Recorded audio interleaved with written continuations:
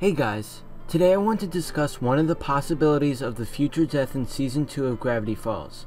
We know there is at least one upcoming death because of Alex Hirsch's tweet a while back. While I believe the mayor is the most likely person to bite the dust, it's still possible that Old Man McGucket will die. First of all, we know that McGucket is an important side character. He's been in a decent amount of episodes and is involved in the past of Gravity Falls.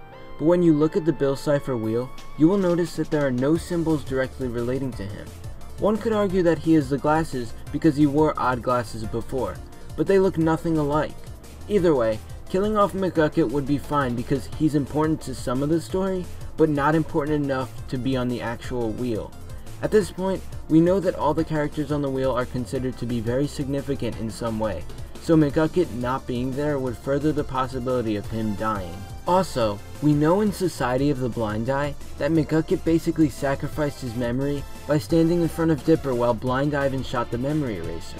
It's possible that McGucket will want to sacrifice himself in a bigger way, ultimately resulting in his death. In the second half of Season 2, there's going to be an apocalypse and things are going to get really serious. Making a sacrifice in a situation like that isn't impossible, especially for Old Man McGucket. Since he made one during Society of the Blind Eye, what's stopping him from doing it again in a more serious way? Of course, this is just speculation, but the next bit of evidence will really make you think. In the Season 2 promo image, we can see Grunkle Stan's fez as well as Old Man McGucket's hat, lying on top of many bones. In many old cartoons, when a character came across bones, it meant that someone had died. Overall, there are so many different possibilities as to who can die in the second half of Season 2. I still believe that the mayor will be the one to die, but the show has made it clear that there are many different characters that have the chance of biting the dust.